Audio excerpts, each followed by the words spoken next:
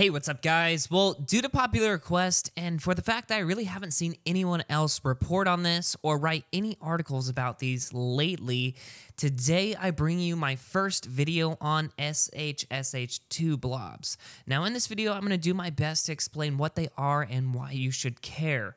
We'll discuss what they're used for, how to save them, and how to use them if you're currently jailbroken on iOS 11 to 11.4.1. Lastly, I'll talk a bit about the new iOS 12 experimental nonce reboot application, and in a follow up video very shortly after this one, I will actually perform a demo using Future Restore.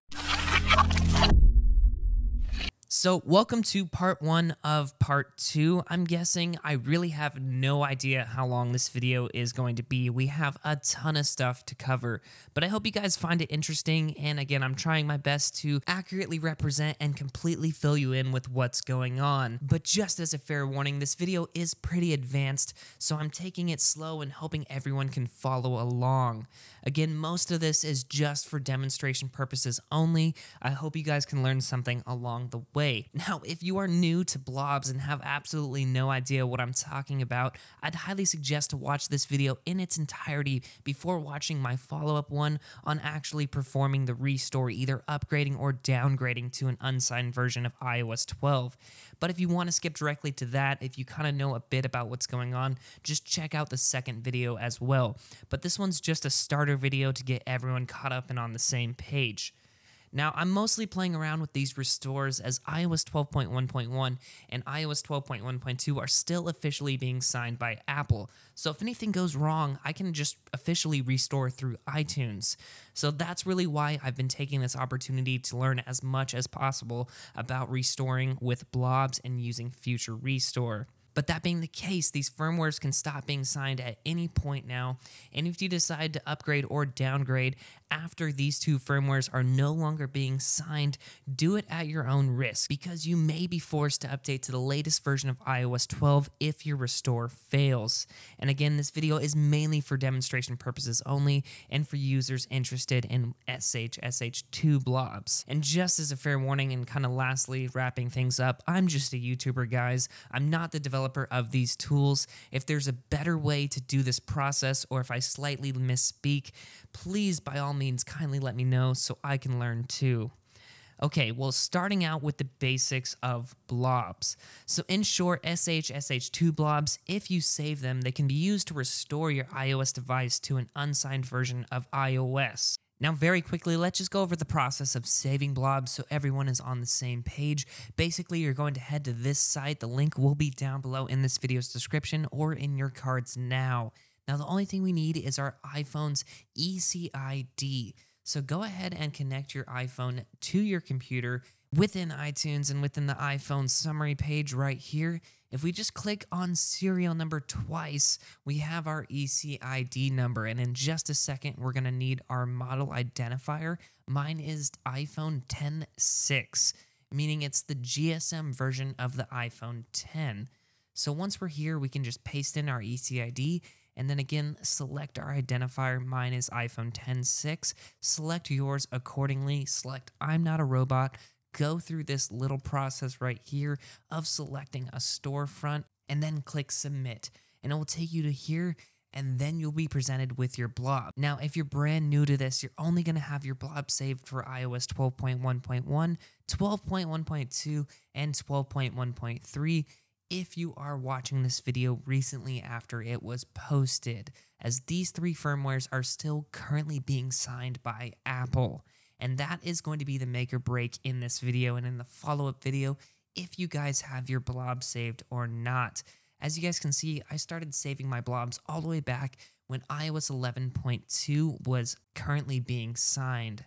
Granted, as we'll talk about later in this video, all of my blobs for iOS 11.2 to 11.4 are completely useless now. We can no longer downgrade to iOS 11 but my iOS 12.0.1 and 12.1 blobs right here are very useful because these two firmwares are no longer being signed by Apple, but with this tutorial process, we'll be able to use Future Restore to downgrade to one of these firmwares right here, even though they are no longer being signed by Apple.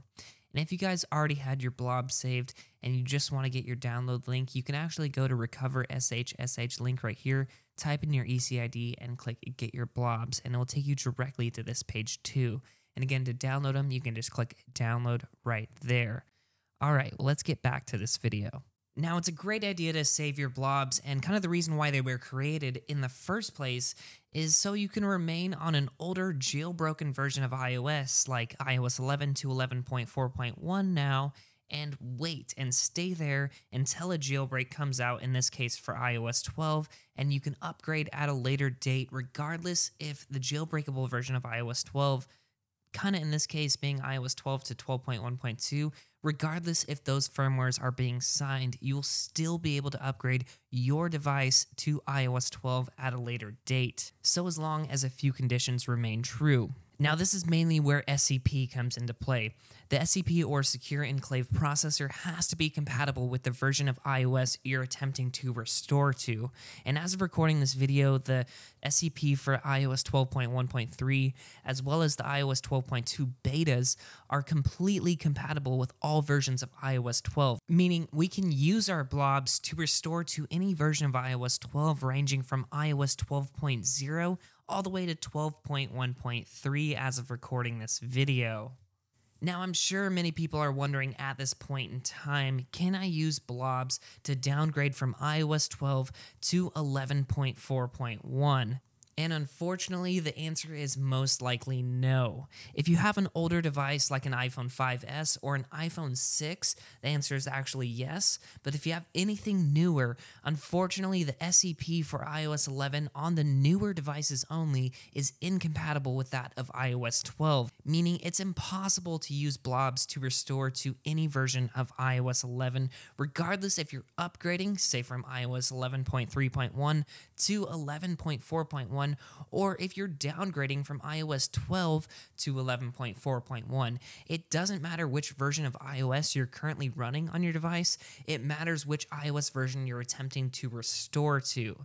If the currently signed SEP is not the same as the one that you're trying to restore to, the restore will fail within future restore. The SEP of a currently signed version of iOS has to be the same or compatible with that of the iOS version that you're trying to restore to and this compatibility can easily be found on the R jailbreak subreddit. Users often give updates when new iOS versions are released, noting if the new SEP is the same or not. And as an example, when iOS 12.1.4 or iOS 12.2 is released, the SEP could change and be incompatible for iOS 12.0 to 12.1.3. Now, in this theoretical case, if that were to actually happen, that would eventually make restores to iOS 12 to 12.1.3 impossible even using this method.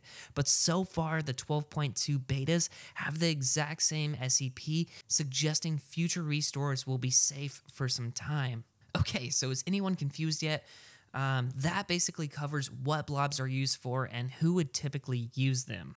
All right, so let's end off this video and kind of recap what I talked about a little bit, summarizing everything and kind of explaining exactly where the second part of this video is going. So basically, the first and foremost thing that you need, you need to save your blobs to be able to use them later. So definitely save your blobs like we talked about earlier in this video. If you're jailbroken on iOS 11 to 11.4.1, I would suggest to use the uncovered jailbreak and that is because directly within the uncovered jailbreak, you can actually set your boot nonce. And that is where we will use our blobs. Basically, within your blobs, there's a boot nonce or a generator, which you can type in right here, and then you can use your blobs directly by using Future Restore on Mac and Windows. But setting your generator or setting your boot nonce is an absolute must for this process to work. Now, that is why typically blobs are used for upgrading from an older iOS version that is already jailbroken, in this case, iOS 11 to 11.4.1 now. You guys can use Electra or Uncover. It's a lot easier Uncover to set your boot nonce right here. And then you'll directly be able to just jump in on the computer and use Future Restore. Now, in contrast, if your phone is not jailbroken, so for users on iOS 12, we'll use this example um, you have to have something that's referred to as a nonce setter, or in this case, nonce reboot. Yu Umang just released this project he whipped up. It is an experimental build. It basically uses Pwn's old nonce reboot program with Brandon Azad's new exploit, which again supports iOS 12 to 12.1.2. It may or may not work on all devices, so exercise caution. Well, with this program, that basically gives users on iOS 12 or users that aren't jailbroken the ability to set their boot nonce. And again, like I said, that is required, and you guys will understand later in the second video of exactly why that is needed. But with your boot nonce set either by using Electra or by using this new nonce reboot setter right here, um, we'll be able to use Future Restore to take advantage of our blobs on iOS 12.0. I don't know why mine didn't save for 12.0, but in my case, iOS 12.0.1, we'll be able to use all of our blobs for iOS 12 basically. So as long as we're on iOS 12.0 to 12.1.2, we'll be able to use this program right here to then restore to any of these versions. And some of them, like 12.0.1 and 12.1, are no longer being signed by Apple. And in the very near future, iOS 12.1.1 and iOS 12.1.2 are also no longer going to be signed by Apple. So if you guys ever wanted to just do a fresh restore, this tutorial would also be applicable. Anyway, guys, that is where this video is heading. I hope you guys enjoyed this quick overview of what blobs are, how to save them, what they're used for, who typically uses them, and kind of a sneak peek of an awesome new project by Umang. Anyway, guys, thank you so much for watching this quick video. Definitely like, comment, and subscribe, and I'll see you guys real soon for part two. But until next time, this is Tony signing out.